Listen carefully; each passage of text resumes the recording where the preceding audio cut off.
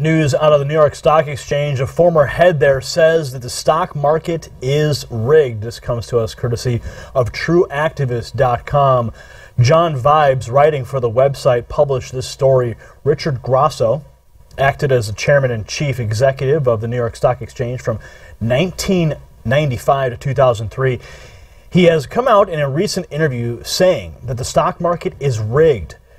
Considering that he spent nearly a decade at the head of the institution, he would obviously have legitimate experience to speak on it.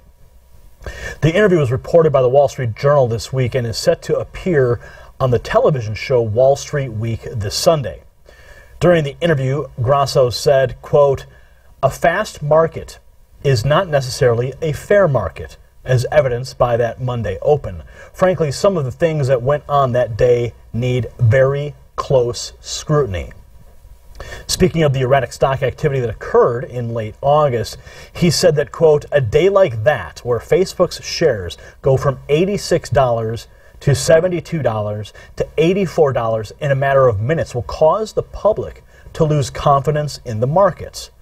Grasso also spoke of how the game was rigged to create an advantage for certain players. Quote, creating an advantage to an institutional user or a particular type of trader that disadvantages the retail investor is bad for the country, bad for markets, and bad for your business, he said.